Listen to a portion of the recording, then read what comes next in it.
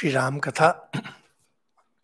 ओम रामाय रामचंद्राय रामभद्राय वेधसे, रघुनाथाय नाथाय, सीताया पतये नमः।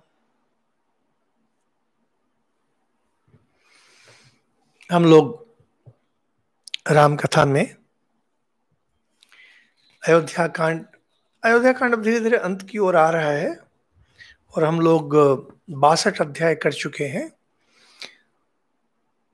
तिरसठ अध्याय शुरू होने वाला है आज। आज की कथा में आज की मूल कथा श्रवण कुमार को लेकर है। और श्रवण कुमार की कहानी आप लोग सभी जानते हैं, बहुत प्रसिद्ध कहानी है। हिंदू हिंदू संस्कृति में जो महान चरित्र जिन्हें माना जाता है, जितने सारे हैं उनमें श्रवण कुमार एक बहुत ही महत्वपूर्ण चरित्र है।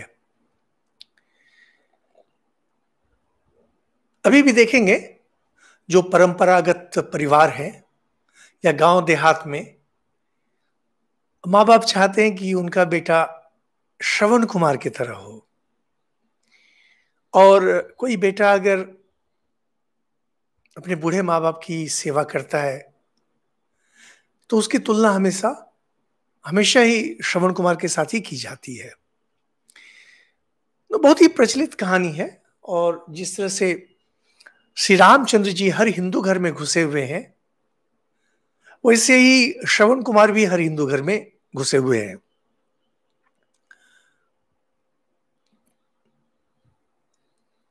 वाल्मीकि रामायण में यह कहानी आती है और क्यों आती है इसके बारे में हम लोग बात करेंगे। और बाद में अलग अलग रामायण में इसका एक विशेष स्थान बन गया और अलग अलग राम कथा में अलग अलग तरह से इसे दिया गया है। साधारणतः कहते हैं कि श्रवण कुमार अपने माँ बाप को कंधे पर उठाकर तीर्थ यात्रा पे ले गए थे, लेकिन यहाँ कहानी जरा दूसरे तरीके से है। मूल कहानी में वापस आते हुए श्री रामचंद्र जी वनवास को निकल गए हैं। सुमंत्र, उनका सब संवाद लेकर वापस अयोध्या आए हैं। रोना पीटना कुहराम, और रात हो गई। राजा दशरथ कौशल्या के साथ हैं, और कौशल्या को कहते हैं कि उन्हें जैसे एक दर्द सा हो रहा है। और कहते हैं कि कौशल्या उन्हें थोड़ा सहला दे। उम्र हो गई है राजा की।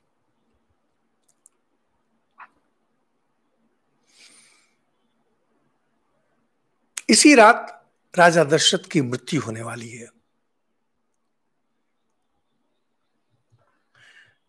कहते हैं कि जब रात हो गई, सब लोग थके हुए थे। छह दिन हो गया, छह दिन से चल रहा है ये।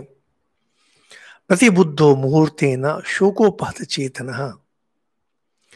अथ राजा दशरथ सचिंता अभ्यपद्यत सोने के लिए सभी चले गए रात में। लेकिन थोड़ी ही देर बाद राजा दशरथ की नींद खुल गई। आप लोग देखे होंगे कभी कभी ऐसा होता है, विशेषकर जिनकी उम्र पचास पार कर गई है, विशेषकर कि आप सोने जाते हैं, थोड़ी देर सोने के बाद हठात नींद खुल जाती है। और देखेंगे, उसमें मन में कोई पुरानी बात घूम रही है या कोई चिंता? जैसे कि आपको कोई काम करना है कल परसों, या कोई समस्या है तो उस कारण से नींद टूट जाती है। नींद टूटना यह अच्छी बात नहीं है। साधारणतः देखा जाता है जिसकी नींद टूट जाती है, और विशेषकर किसी बात को याद कर, इसका अर्थ है कि जीवन में काफ़ी गड़बड़ी की है आपने। इससे बचने का एक ही उपाय रहता है अगर काफ़ी जप किया जाए, ईश्वर का नाम अगर काफ़ी लिया जाए, दिन में छह घंटे, आठ घंटे अगर आप जप करें, डूब जाए, रम जाए जप में, तब काफ़ी हद तक यह नियंत्रण में आता है। प्राय लोग कहते हैं, जिनकी उम्र हो गई है सोने गए थोड़ी देर बाद नींद चटक जाती है। पहले के दिनों में जितने भी हिंदू थे, सबको ये शिक्षा दी जाती थी, कैसे बचपन से ही ईश्वर का नाम लिया जाए, धर्म कार्य किया जाए। अब तो धर्म चेतना ही समाप्त हो रही है, समस्याएँ और बढ़ने वाली हैं आगे चलकर। लेकिन आप लोग जो सुन रहे हैं, आपके लिए महत्वपूर्ण है। अगर आपके साथ यह समस्या है कि प्राय ऐसा होता है सात दिन, दस दिन, महीने में एक बार नींद टूट जाती है थोड़ी ही देर में, इसका अर्थ है कि आपको जब ध्यान थोड़ा देख करना चाहिए। तो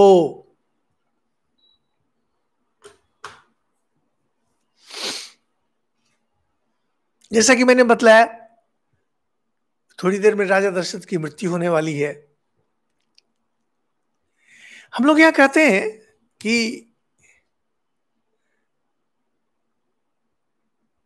जब किसी व्यक्ति की मृत्यु आती है, अगर वह धर्म प्राण व्यक्ति है, अगर उसने सच में धर्म में अपना जीवन बिताया है तो उसे अपने ऊपर इतना नियंत्रण होना चाहिए कि मृत्यु के पहले वह स्वयं को बोलेगा, ओम कृतो स्मर कृतम स्मर। रे मन अब चले इस दुनिया को छोड़कर, यहाँ की रंगीनी को छोड़कर, इस मेले को छोड़कर, यह मेला, पहले के दिनों में जो मेला होता था, अब अब तो जो मेले होते हैं, उसमें वह आनंद कहाँ, वह मज़ा कहाँ। पहले के दिनों में जो मेला हुआ करते थे ना, लोग साधारण थे और साधारण चीज़ों से खुश हो जाते थे। यहाँ खिलौने हैं, यहाँ गुब्बारे हैं, यहाँ चरखियाँ हैं तो अब तो मेला भी नहीं, अब तो साधारणतः फेट कहते हैं एफ़ फेट तो यह संसार का मेला यही रह जाएगा। यहाँ की जितनी भी रंगीनी अच्छा बुरा जो भी है, इसको छोड़ के चलेंगे। अब मेरी भी उम्र हो रही है, अब मैं बीच बीच में सोचता हूँ कि जिन जिन जगहों पे मैं था और जिन जिन जगहों को देखा है, जैसे हरिद्वार आदि है, अब धीरे धीरे एक बार परिक्रमा करनी चाहिए इन स्थलों की। कि हो गया तो बस जिस दिन कहानी खत्म हुई, निकल जाएँगे तो एक बार देख लेते हैं कहाँ कहाँ थे। ईशावास्योपनिषद में कहते हैं, हे मन तुमने जितने पुण्य कर्म किए हैं, जितने यज्ञ आदि किए हैं, जितनी तपस्या की है, उन्हें याद कर। क्योंकि कहते हैं, मरने के समय, मरने के समय आप जिस चीज़ को याद रखेंगे, उसी के अनुसार आपका अगला जन्म होगा। तो कहते हैं, ओम कृतो स्मर, कृतम स्मर। इसी भाव को लेकर के हिंदू लोग जब व्यक्ति की मृत्यु आती है, उसमें हरि नाम करते हैं। जिनके घर में जो प्रचल, ये है, प्रथा है कहीं राम नाम करते हैं, कहीं कृष्ण नाम करते हैं, जिस घर में जैसी परंपरा है।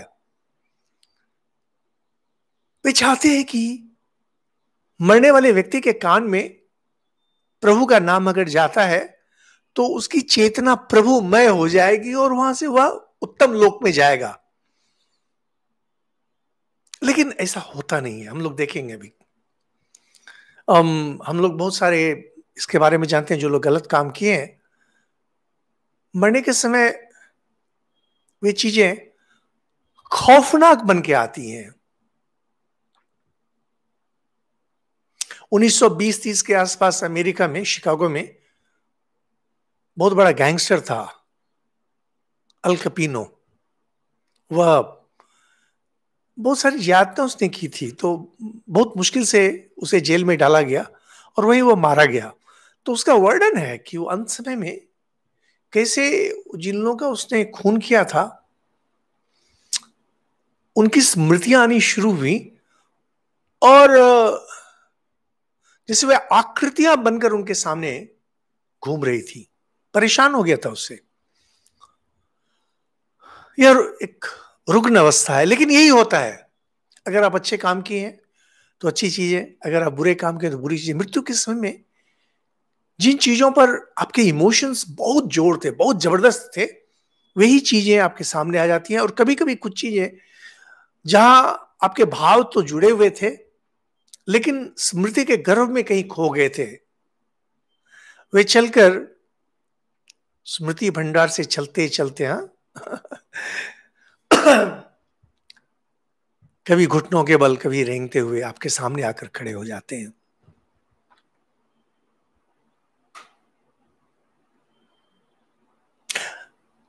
राजा दशरथ के साथ यही हो रहा है। कहते उनका हृदय शोक से व्याकुल था। और उनका मन घूमने लगा क्या?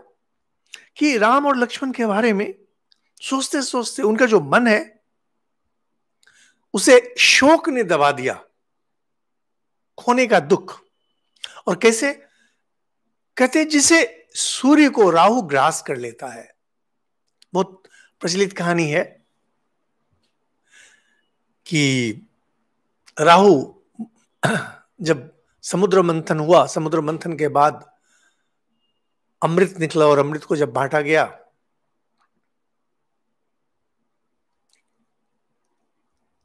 केवल देवताओं को दिया जा रहा था अमृत। बहुत लंबी कहानी है, कभी मौका मिलेगा हम लोग उसके बारे में आलोचना करेंगे। तो राहु, उसने समझ लिया कि हाँ चालाकी हो रही है। तो वह छुप कर देवताओं की पंक्ति में आके बैठ गया। तो सूर्य और चंद्रमा ये दोनों देवताओं ने दिखा दिया कि यह राहु है। तो तुरंत उसका सर काट दिया गया। और वही कहते हैं, राहु ग्रास करता है, सूर्य ग्रहण, चंद्र ग्रहण। तो कहते जैसे राहु का अंधकार सूर्य को ढक देता है, वैसे ही शोक। अभी भी हम लोग कहते हैं, राहु। स राजा रजनीम षष्ठीम रामी प्रव्राजिते वनम। छह दिन हो गए श्री रामचंद्र जी को वन में गए हुए। और समय उनको अर्धरात्रे दशरथ सोस्मर दुष्कृतम कृतम। राजा दशरथ ने जो एक दुष्कर्म किया था, गलत काम किया था, उन्हें उनकी याद आई। मृत्यु काल आ गया है। वे कौशल्या से गाना शुरू करते हैं।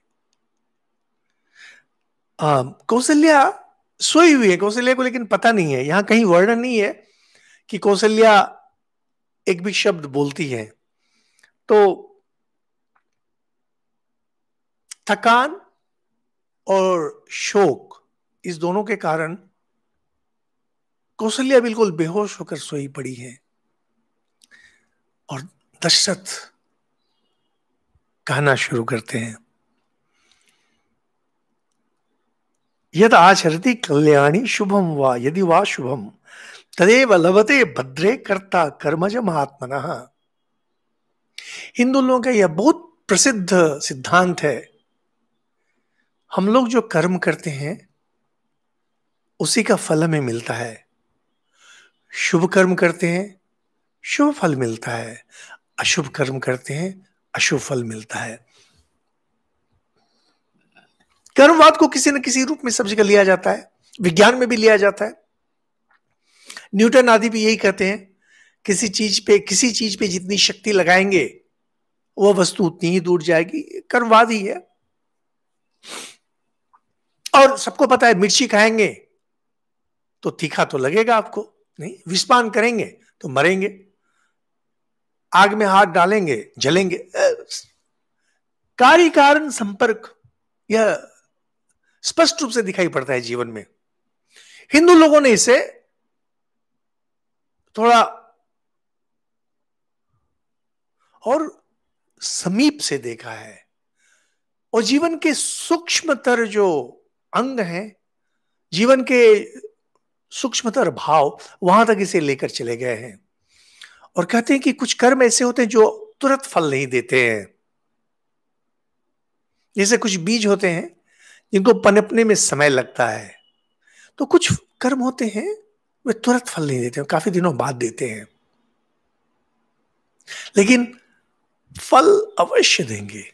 और अगर नहीं दे सकते हैं तो बाद के किसी जन्म में जब परिस्थिति जब अनुकूल हो जाएगी तब देंगे। तो इसीलिए हिंदू लोगों को हमेशा सावधान किया जाता है कि गलत काम मत करो। गलत काम करोगे तो फल तुम्हें मिलेगा। और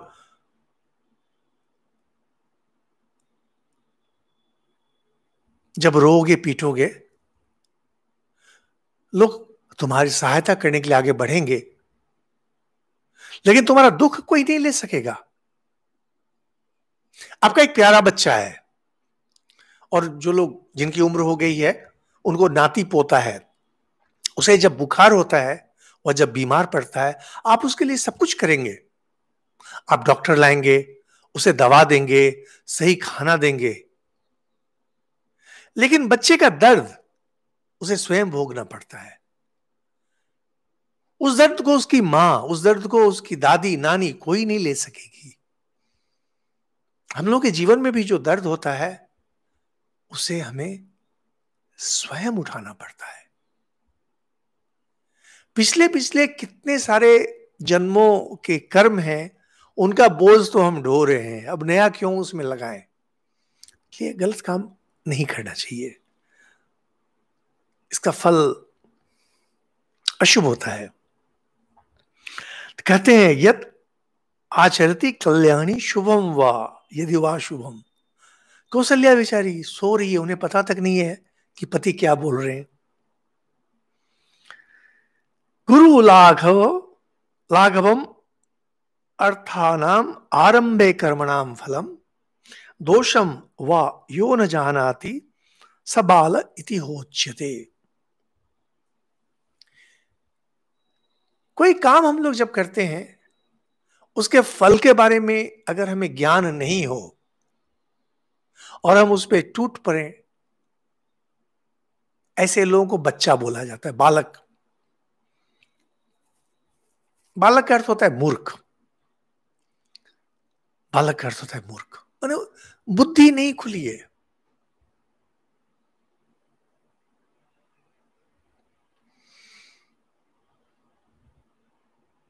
हम लोग हम लोग को पता है क्या करना चाहिए, क्या नहीं करना चाहिए। हम लोग को पता है कि सीधा सादा खाना, सादा जीवन। अभी देखिए, कोरोना के कारण चारों तरफ़ नौकरी जा रही है, लोगों के पास पैसा नहीं है।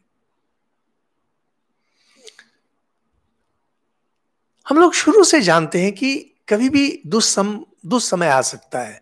बुरा समय, बुरा वक्त कभी भी आ सकता है। तब भी लोग क्रेडिट कार्ड पे खर्च करते हैं। बैंक से लोन लेकर के मकान बनाते हैं, गाड़ी खरीदते हैं। अब फंसिए।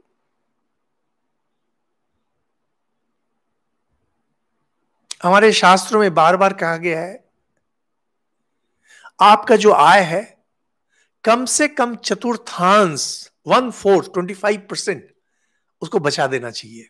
कम से कम। अगर आप एक लाख रुपया महीना कमाते हैं, पच्चीस हज़ार रुपया आँख बंद कर, आँख बंद कर, उसे बचा लीजिए। आप लोग सभी करते हैं क्या? नहीं। आप लोग क्या नहीं जानते हैं कि बचाना चाहिए? जानते हैं। बचाते नहीं है। क्यों?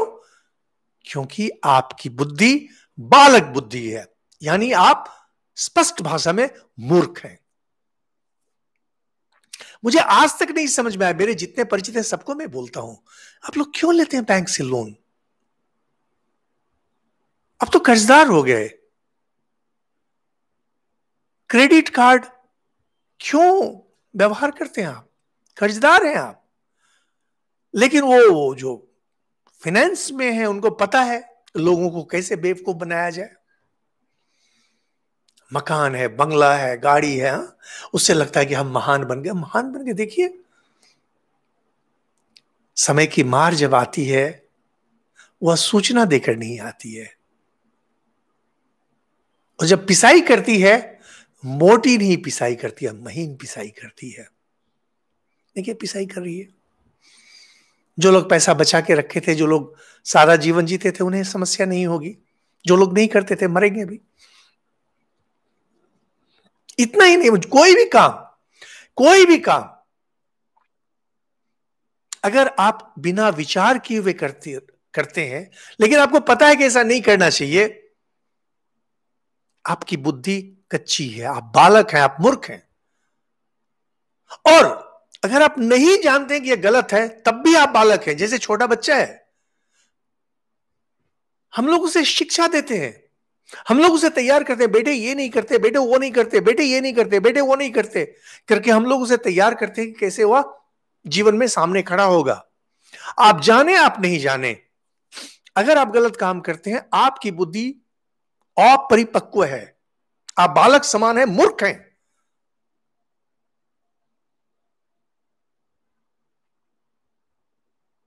प्रकृति या संसार हमें हमारी बदमाशी के लिए कभी सजा नहीं देती है, क्योंकि प्रकृति के पास बदमाशी नाम की कोई चीज़ नहीं होती है। भगवान के पास बदमाशी नाम की कोई चीज़ नहीं होती है। प्रकृति के पास यह जो संसार है जो प्रकृति है, यह एक ही चीज़ जानती है, अज्ञान। गलत सही। कंप्यूटर बस इतना जानता है, ज़ीरो, वन। कंप्यूटर में आप देख रहे हैं फ़ोटो। ये फ़ोन पे जब आप बात कर रहे हैं, कंप्यूटर ही है। हम लोग अभी इस पे जो बात कर रहे हैं, अभी यूट्यूब पे, कंप्यूटर ही है। लेकिन वास्तव में क्या है? शून्य एक शून्य एक शून्य एक, और कुछ नहीं है। कंप्यूटर केवल समझता है, स्विच ऑन है कि स्विच ऑफ़ है। अगर इसको लेकर के थोड़ी पढ़ाई करें, जो लोग नहीं जानते, देखेंगे कि सब कुछ बहुत अति साधारण चीज़ से शुरू होती है। प्रकृति भी बस एक ही चीज़ जानती है, सही, गलत स्विच ऑन स्विच ऑफ़ अगर सही है स्विच ऑन अगर है, आपको आगे जाने देगा। स्विच ऑफ़ है, आपको रोक देगा। स्विच ऑफ़ का अर्थ है कि आपको बुद्धि नहीं है स्विच ऑन है कि आपको बुद्धि है। स्विच ऑफ़ है, आपको रोक देगा। आप गलत काम करना मने, आपको अभी ज्ञान नहीं हुआ है। आप उस ज्ञान को, आप लोग देखेंगे कभी कभी माँ लोग बहुत नाराज़ होकर के अपने बेटे को बोलती है, तुम्हें कितनी बार मैंने समझाया? बच्चा क्या नादान है कि नहीं समझ रहा है? नहीं। उसकी बुद्धि तैयार नहीं है इसके लिए। और बुद्धि तैयार नहीं है इसीलिए उसे प्रकृति बार बार शिक्षा देती है, मत करो मत करो। और तब भी वह करता है, मार खाता है। और मार खाते खाते मार खाते खाते एक समझ आता है जब वो बोलता है, और नहीं। यानी उसकी शिक्षा पूरी हो गई। शिक्षा पूरी हो गई, गेट खुल गया। आप लोग कभी रेलवे क्रॉसिंग में अगर रहे होंगे, देखे होंगे, कैसे बंद कर दिया जाता है। गाड़ी पार हो गई, सब साफ़ हो गया, गेट उठा देगा चलो आगे चलो। हम लोग प्राय सोचते हैं ना, हम लोगों के दुष्ट कर्मों का फल मिल रहा है, नहीं, असल में दुष्ट कर्मों का फल नहीं मिलता है। हम लोगों को आगे नहीं बढ़ने दिया जाता है। अज्ञान के कारण। अज्ञान माने बालक बुद्धि।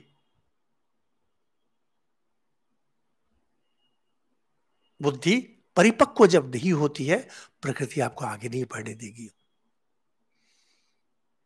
आठवीं, नौवीं परीक्षा में अगर आप फेल कर जाएँगे तो आपको आगे नहीं बढ़ने दिया जाएगा। क्यों?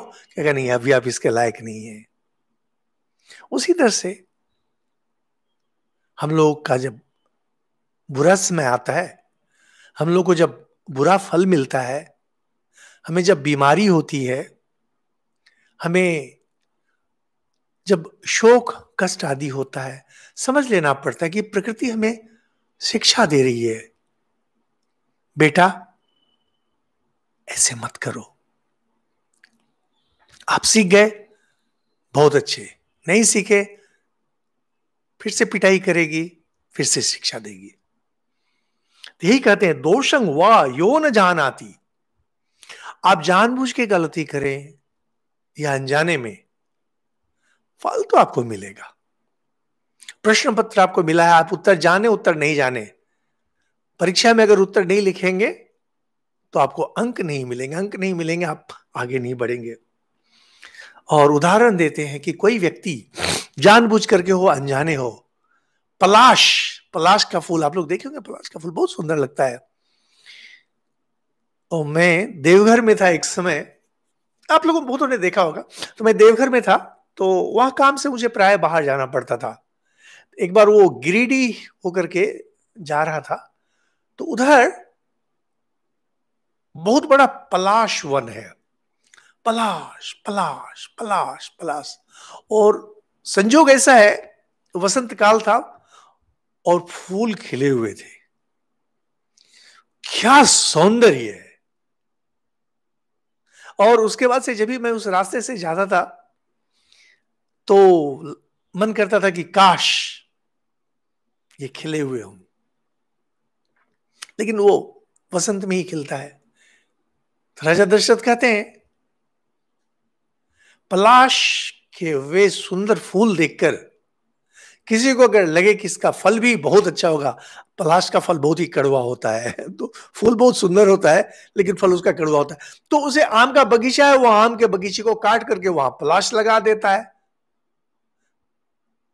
और खाद पानी देता रहता है, और जब पलाश के फूल निकलेंगे, खुश हो जाता है, अब देखो, अब तो मेरी चांदी है। और फिर उसका फल आता है। कटू कटू कटू। दशरथ कहते हैं, अविज्ञाय फलम यो ही कर्म तू एव अनुधावती। जो बिना जाने, जो बिना विचार किए किसी कर्म के पीछे दौड़ता है, जब फल उसे मिलता है, उसे वैसे ही शोक होता है जैसे आम काटकर जिसने पलाश लगाया हो। इसलिए हम लोग कोई भी काम जब करते हैं तो अच्छी तरह से पता कर लेते हैं, ये क्या होगा, वो क्या होगा। सो अहम आम्रवणम छित्वा पलाशांश नशेषयम मैंने भी, एक कौशल्य, मैंने भी अपने आम के वन को काट दिया और वहाँ पलाश लगा दिया था। रामम फल आगमे त्यक्वा पश्चात चामी दुर्मति। ही पश्चात सोचामी मैं, मेरी बुद्धि कितनी खराब है, सोचो। राम को मैंने खो दिया। राम को। और अब मैं पश्चाताप पश्चाताप का अर्थ होता है पश्चात ताप। किसी चीज़ के कर लेने के बाद पीछे जब ताप होता है, मन में दुख होता है, मैंने ऐसा क्यों किया? और अब उन्हें वह घटना याद आती है।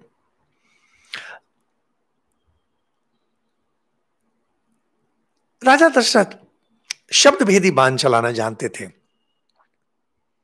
शब्द भेदी बाण, यह, इसका वर्णन आता है बहुत बार। अर्जुन भी शब्द भेदी बाण चला सकते थे और अपने कर्ण भी चला सकते थे और भी बहुत लोग चला सकते थे। यह बहुत ही प्रचलित है शब्द भेदी बाण। चीन चीन देश में जो बहुत अच्छे धनुर्धर हुआ करते थे, वे भी शब्द भेदी बाण चला सकते थे। केवल आवाज़ सुनकर चला देते थे। और वैसे वर्तमान काल के सैनिक आदि जो होते हैं, वे शब्द सुनकर गोली चला पाते हैं कि नहीं? चलाते होंगे, अंदाज से चलाते हैं, लेकिन शब्द भेदी बाण था, साधारणतः निशाना लगता ही लगता था। पहले के दिनों में जब गोली चलाते थे या तीर चलाते थे तो निशाना चूकता नहीं था। अब आजकल के बंदूक आदि जो हुए हैं, एक निशानों को मारने के लिए सौ गोली चलाते हैं। मनुष्य के मन की शक्ति इसको हरण कर लिया है मशीनों ने। और हम लोग के पास जो शक्ति होती थी, वही पहले के लोग एक तीर चलाते थे, एक गोली चलाते थे, आदमी को मरना ही मरना है। अब एक फोर्टी सेवन हो गया, एक ही आदमी को मारने के लिए पचास गोली चलानी पड़ती है। किसी भी काम में देखेंगे, जहाँ भी मशीन है, वहाँ देखेंगे वो शक्ति ऊर्जा बहुत अधिक लगती है। तो कहते हैं कि वो शब्द भेदी बाँध चलाना चाहते थे और लोग उनकी बहुत प्रशंसा करते थे और प्रशंसा में वे फूल के कुप्पा हो गए कि मैं वीर धनुर्धर हूँ। तो कहते हैं कि कि यह कुमारा शब्द वेदी थी, मया पापम इदम कृतम। या ख्याति, प्रशंसा के कारण मेरा सर्वनाश हुआ। यहाँ पर एक बात बतला है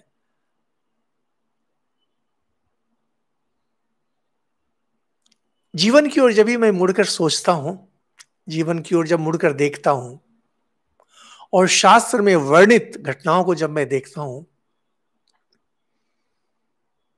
तो मुझे लगता है कि देखिए, यह जागृत अवस्था जो है, अपना जीवन इसे वेदांत में प्राय तुलना की जाती है स्वप्नावस्था से। कहते हैं कि स्वप्न अवस्था में जैसे सब मिथ्या है, जागृत अवस्था में भी ऐसी ही सब मिथ्या है।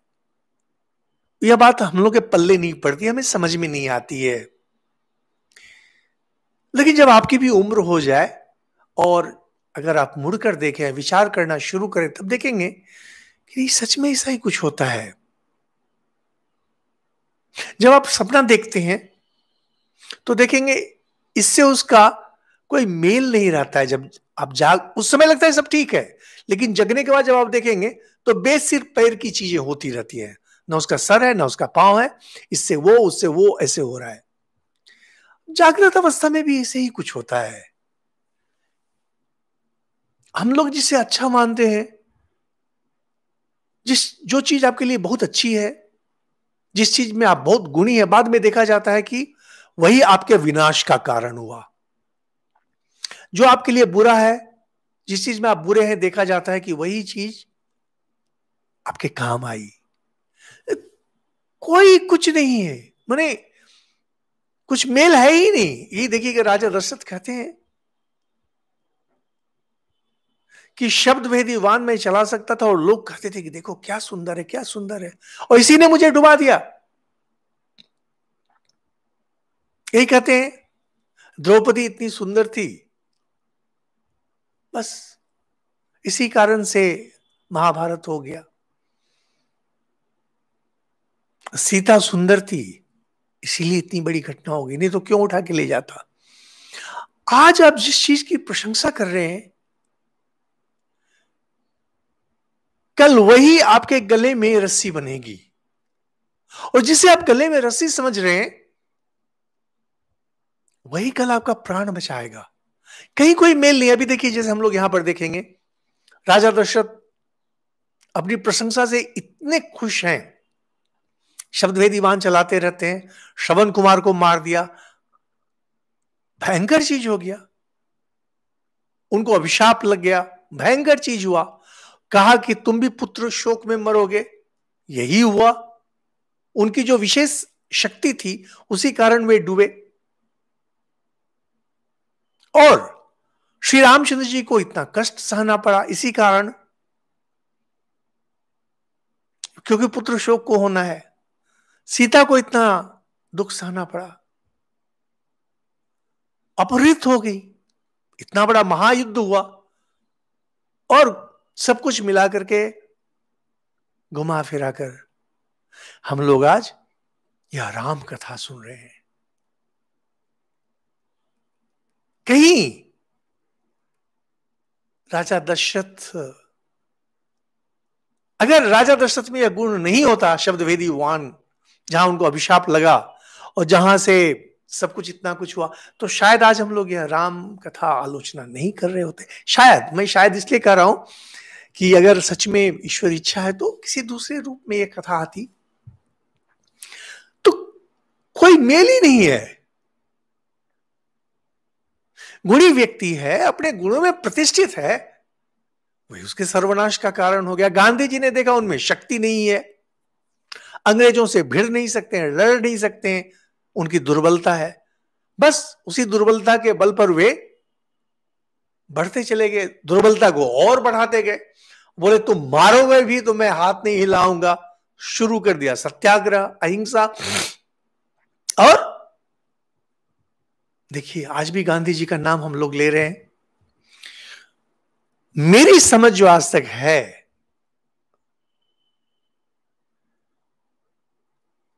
शक्ति ही दुर्बलता का कारण बनती है। दुर्बलता ही शक्ति का शक्ति बन जाती है। शक्ति को जब आप बहुत ठेलेंगे बहुत ठेलेंगे बहुत ठेलेंगे तो वह विनाश का कारण, दुर्बलता का कारण बनता है। और दुर्बलता, उसे जब ठेलते चले जाएँगे, ठेलते चले जाएँगे, वही शक्ति बन जाती है। आश्चर्य है।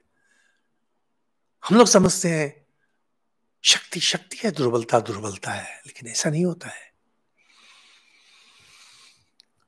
तो कहते हैं कि,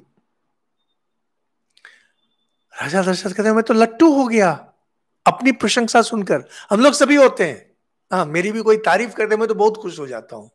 और मैं ढूंढता रहता हूँ ऐसे लोगों को जो थोड़ी तारीफ़ कर दे। और जिस व्यक्ति में जो विशेष गुण है, कब वही उसका फांसी का फंदा बनेगा हम लोग नहीं जानते हैं। कर्मण की गति न्यारी हो साधो, कर्मण की गति न्यारी। कर्म की गति बहुत न्यारी होती है। किस चीज़ से क्या होगा? आपके किस सर्वनाश में एक बिल्कुल नई शक्ति नीत है, हमें नहीं पता है।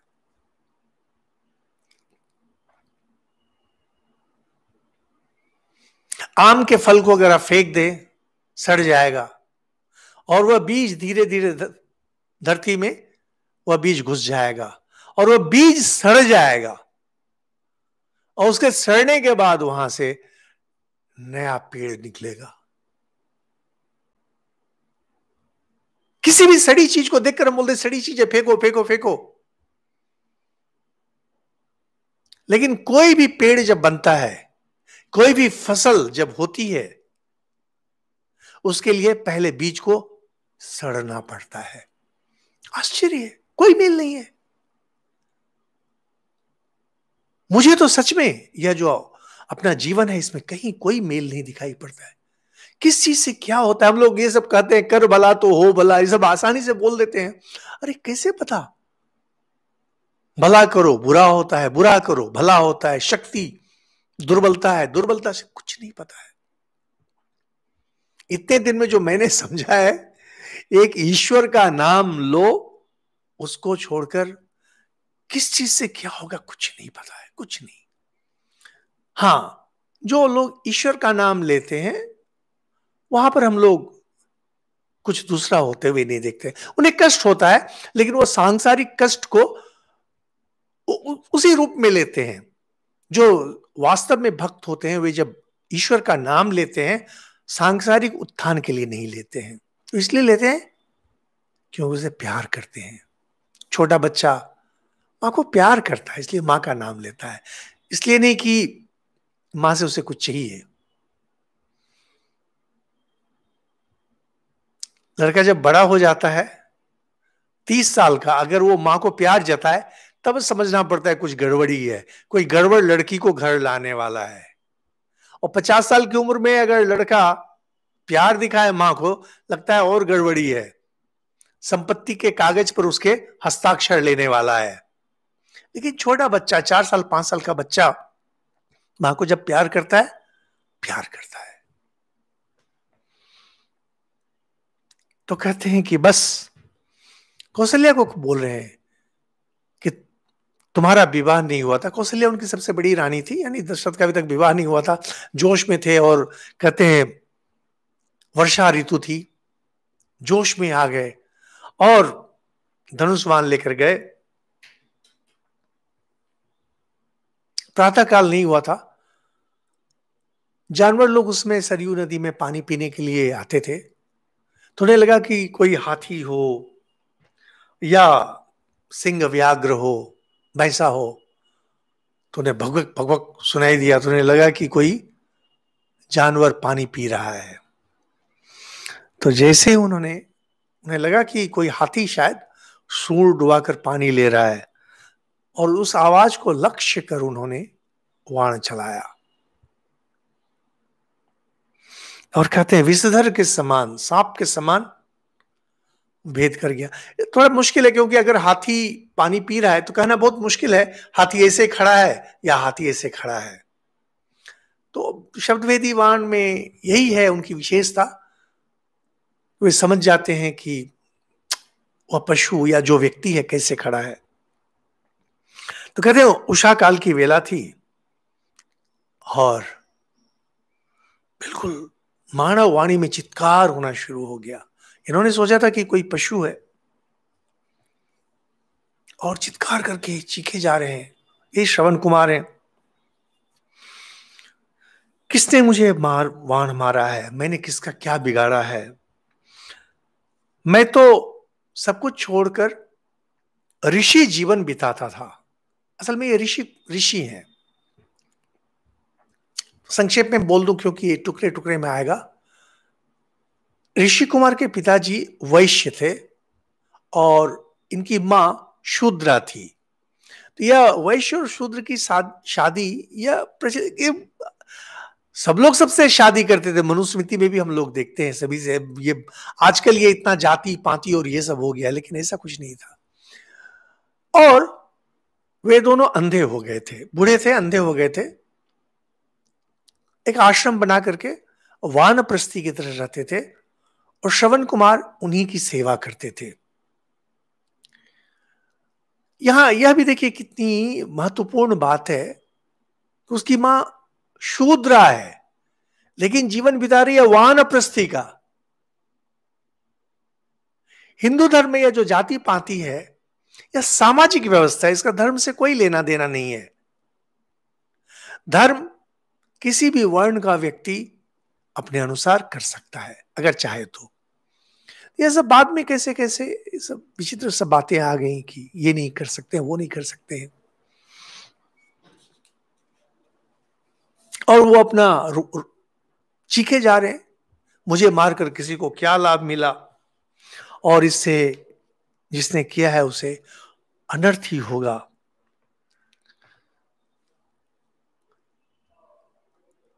चित्कार कर रहे हैं। ऋषि कुमार है, लेकिन गुस्से में बोले जा रहे हैं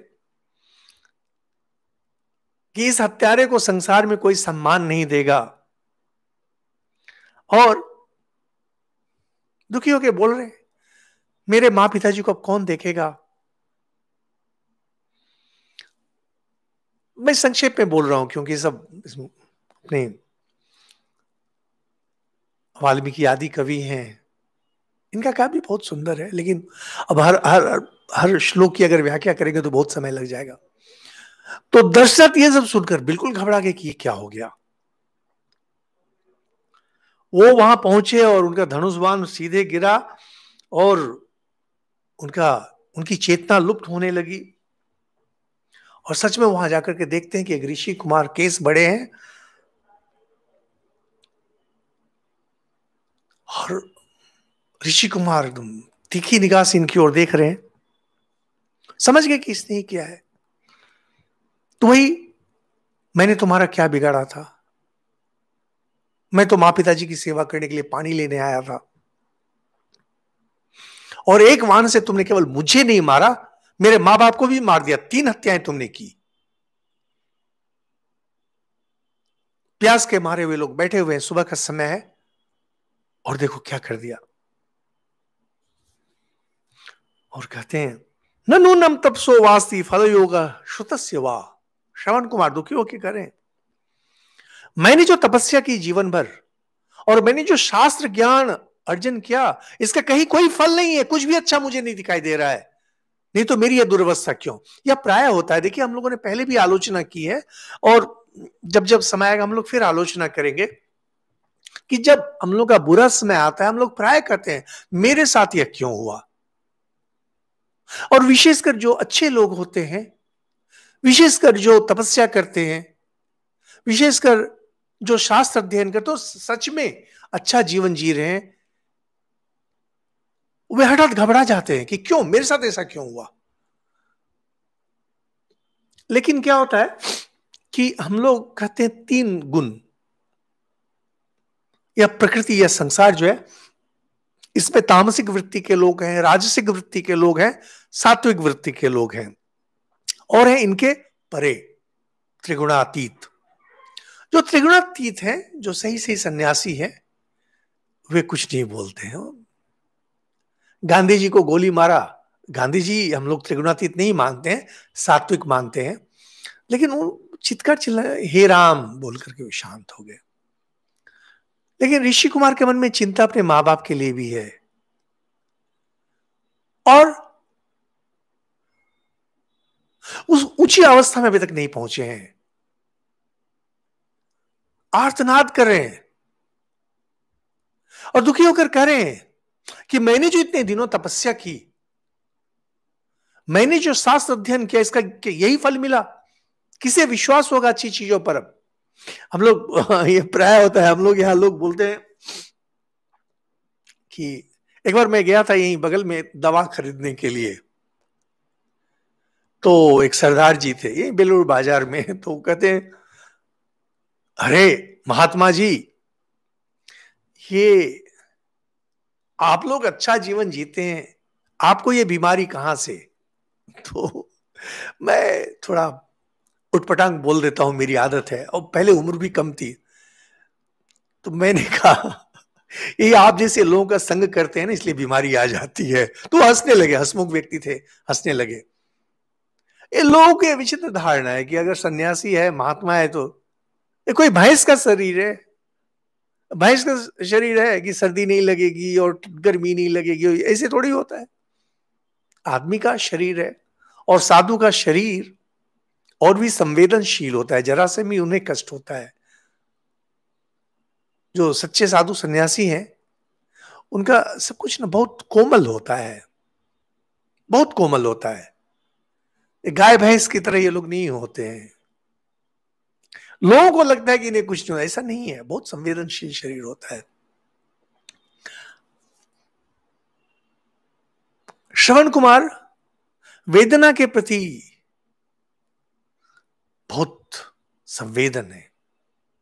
ये जो वेदना हो रही है, शारीरिक, मानसिक, शारीरिक अपने लिए, मानसिक, माँ पिताजी के लिए। और कहते हैं कि मेरे बाप, माँ बाप को तो पता भी नहीं चलेगा। कि मैं यहाँ पड़ा हुआ और उन्हें पता भी चल के तो वो क्या कर लेंगे? अंधे हैं, असहाय हैं, चल नहीं सकते हैं। तेज हवा में एक वृक्ष अगर टूट जाए तो दूसरा वृक्ष उसकी सहायता नहीं कर पाता है।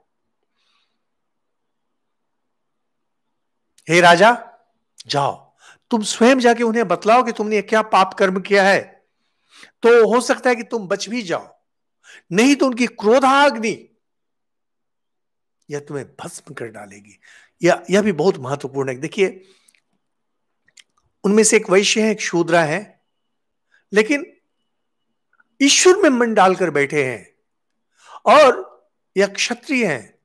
श्रवण कुमार बोल रहे हैं, उनकी क्रोधाग्नि तुम्हें भस्म कर देगी। यह जो पगडंडी है, रास्ता, यह हमारे आश्रम की ओर जाती है। चले जाओ और जाकर के क्षमा याचना करो, नहीं तो तुम मरोगे। उधर दर्शक परेशान है, उनको लग रहा है क्या कि तीर अगर इनमें लगा रहा तो इनको भयंकर दर्द होता रहेगा।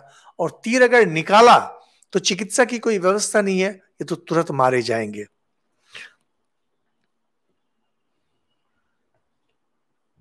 और श्रवण कुमार बोल रहे हैं, सुनो मुझे बहुत कष्ट हो रहा है। मेरी आँखें चढ़ी आ रही है। अंग अंग में तड़पन है। मैं मृत्यु के समीप पहुँच गया हूँ। फिर भी संस्तभ्य शोकम धैर्य स्थिर चित्तो भवाम्य हम अब उनको तपस्वी है ना? हम लोगों ने शुरू में कहा था, कृतो स्मर, कृतम स्मर। तपस्वी है। जो गुस्सा था, निकल गया। अब बोल रहे हैं, संस्तभ्य शोकम मैं अपने शोक को सस, का स्तंभन कर रहा हूँ, रोक ले रहा हूँ। और धैर्य पूर्वक अपनी शक्ति लगा करके, मानसिक शक्ति लगा करके मैं स्थिर चित्त हो जाता हूँ। यानी अपने मन को मैं अब ईश्वर में लगाता हूँ। यही, यह है आदर्श मृत्यु किसी भी हिंदू के लिए। मरने के समय जाकर के आईसीसीयू में डाल करके रखे हैं। नाक में नली लगी हुई है, हाथ में नली लगी हुई है, वेंटिलेटर में। यह हिंदू लोगों के लिए मृत्यु नहीं है। हिंदू मृत्यु है। जब आपको लगा कि मैं चला, अपने मन को स्तंभित कर, रोक कर, मन को पूरा ईश्वर में लगा दीजिए। शरीर इधर पढ़ा रहे हम लोग नाम के ही हिंदू हैं। हम लोग के वंश में कभी कोई रहे होंगे अच्छे, बस हिंदू है, नाम के ही हिंदू है क्या? कोई भी गुण हिंदू का एक भी गुण हम लोगों में नहीं है। और साथ में कहते हैं मरने के पहले कि देखिए, आपको अगर यह लगे तपस्वी देख करके कि आपसे ब्रह्म हत्या, ब्राह्मण की हत्या को बहुत बड़ा पाप माना जाता था कि ब्रह्म हत्या, नहीं, ऐसा नहीं है। मेरे पिताजी वैश्य हैं और मेरी माँ शूद्रा है तो इसीलिए आप हाँ चिंता मत कीजिए। कि कम से कम ब्रह्म हत्या का पाप आपको नहीं लगा। तो ब्राह्मण की हत्या और गो हत्या, इस दोनों को बहुत बड़ा पाप माना जाता था हिंदू लोगों में। और कष्ट से छटपटा रहे हैं श्रवण कुमार। राजा दशरथ से नहीं देखा गया, उन्होंने वाण को खींचकर निकाल लिया। तो खींच के जैसे ही निकाला, श्रवण कुमार वही समाप्त, उनकी कहानी वही समाप्त हो गई। अब उन्होंने जल भरा। राजा दशरथ चले। श्रवण कुमार के माता पिता के पास। वहाँ कुटिया में पहुँच गए। तो पैरों की आहट सुनकर वे कहते हैं, क्या बेटा, देर क्यों कर दिए? देखो तुम्हारी माँ प्यास से तड़प रही है। श्रवण कुमार कुछ बोल नहीं रहे हैं, वो तो दशरथ है। तो पिताजी बोल रहे हैं कि क्या हुआ? बोलो। तो दशरथ तो डर के मारे काँप रहे हैं। अस्पष्ट वाणी से बतलाते हैं कि कहते हैं, मनस कर्म चेष्टा अभी अभी संस्तभ्य बाग वलम कहते हैं, जो मानसिक भय है उसको बाहरी चेष्टाओं से किसी तरह से मैंने दबाया। हम लोग के साथ होता है। जब हम लोग कभी डरवर जाते हैं ना तो अपने अंग को कड़ाक कर लेते हैं तो डर जाने पर। तो इस तरह से अपने अंदर शक्ति तैयार की जाती है। तो किसी तरह से बोलने की क्षमता इन्होंने प्राप्त की। क्षत्रियो हम दशरथो ना हम पुत्रो महात्मन। मैं आपका पुत्र नहीं हूँ, मैं दशरथ नाम का एक क्षत्रिय हूँ। और सज्जनाव मतम दुखम इदम प्राप्तम स्वकर्मजम सत्पुरुष जिसकी निंदा करते हैं, मैंने ऐसा दुष्कर्म कर दिया है। क्या कि संक्षेप में बतलाते हैं क्या हुआ। और कहते हैं कि मैंने वाण निकाला और वो स्वर्ग सिधार गए। अज्ञानात भवतः पुत्र, सहसा भी तो मया। अज्ञान में अज्ञान में, मेरे अजानते यह हत्या हो गई। अब आप मुझे जो अभिशाप देना चाहें, या जो भी हो, हम पर जो भी आप कहें, कृपा करें, शाप दें, मुझे सब स्वीकार है। मेरी प्रार्थना है कि आप शांत हो जाएँ, आप मेरे प्रति शांत हो जाएँ। कहते हैं, प्रसिद्ध तुम्हें मुनि प्रसिद्ध हम पर प्रसन्न हो। प्रसन्न होना चाहते तो कहते हैं कि चूँकि मैंने मैंने दशरथ ने स्वयं जाकर के अपना अपराध स्वीकार किया, मुनि उन्हें सहसा अभिशाप नहीं दे सके।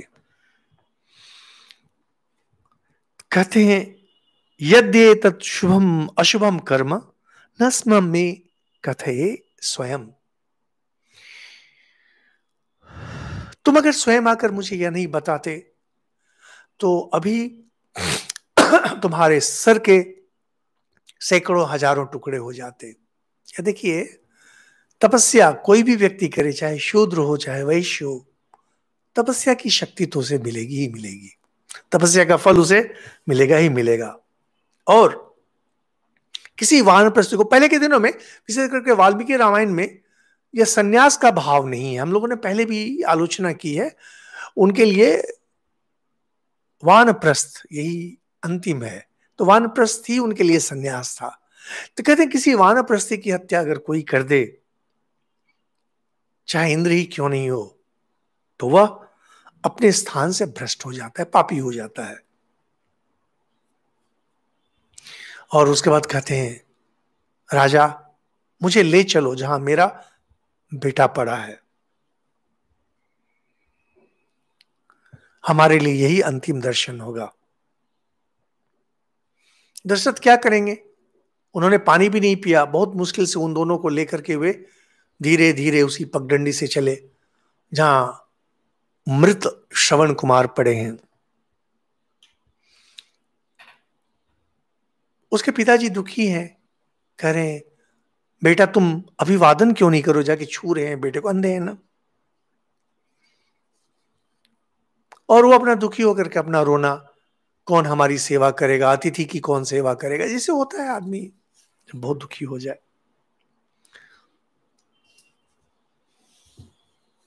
और कहते हैं कि, बेटा, थोड़ी देर रुक जाओ। हम दोनों भी अभी तुरंत मर जाएँगे तुम्हारे शोक में। और सूर्य पुत्र यमराज के सामने खड़े होकर मैं बोलूँगा, यह बहुत धर्मात्मा है अपने बेटे के बारे में। इसे जीवन दान करें और वे अवश्य जीवन दान करेंगे। एक दुखी पिता के उद्गार हैं। कहते हैं कि यह मेरे बेटे की स्वाभाविक मृत्यु नहीं है। एक क्रूर कर्मा क्षत्रिय ने ऐसा किया है। हे यमराज इन्हें वापस कर दें। हम लोग तपस्वी हैं इसके पिताजी कह रहे हैं। यानी उम्र हो जाने के बाद ये लोग सभी वान अप्रस्थी हो जाते हैं। तो कहते हैं, हम लोग तपस्वी हैं और हमारे कुल में कभी किसी की बुरी गति नहीं हो सकती है। इसलिए, हे श्रवण, तुम उत्तम लोक को प्राप्त होगे। तो कहते हैं कि तपस्या का प्रभाव ऐसा है, इंद्र उपस्थित हो गए, श्रवण कुमार को लेकर चले गए। सब कुछ हुआ, लेकिन श्रवण कुमार के पिताजी भूल नहीं सके पुत्र शोक और कहते हैं, हे राजा, पुत्र व्यसनजम दुखम यदे तन मम सांप्रतम एवं त्वम पुत्र शोकेन राजन कालम करिष्यसी। राजा जिस तरह से पुत्र शोक के कारण मुझे कष्ट हो रहा है, तुम इसी पुत्र शोक में मारे जाओगे। तुम्हें भी पुत्र शोक होगा, तुम भी मरोगे, इसी तरह से मरोगे।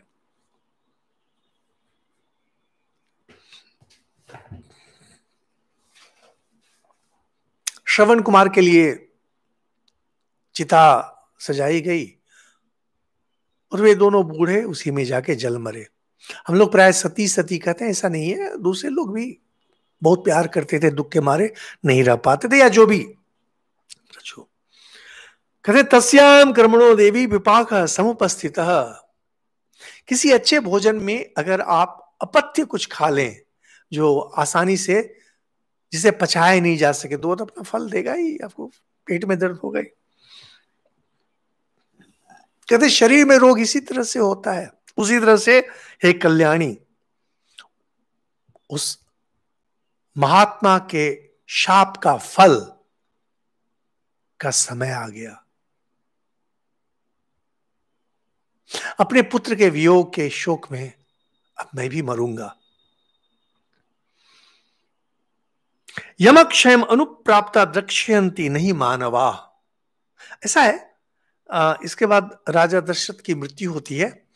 यहाँ पर कुछ कुछ बातें हैं जो मृत्यु संबंधित हैं। हम लोग का समय हो गया है हम लोग इसको अगले दिन करेंगे। श्रवण कुमार का प्रसंग यही समाप्त हो जाता है कि श्रवण कुमार गत हो गए साथ में उनके माता पिताजी और हम्म, इस जगह से अंठावन नंबर तक हम लोगों ने किया। यहाँ से हम लोग फिर राजा दशरथ कैसे अपनी मृत्यु के बारे में बोल रहे हैं और मृत्यु के क्या क्या लक्षण हैं जो राजा दशरथ कहते हैं, इसकी आलोचना हम लोग अगले दिन करेंगे। आज हम लोग यहीं समाप्त करते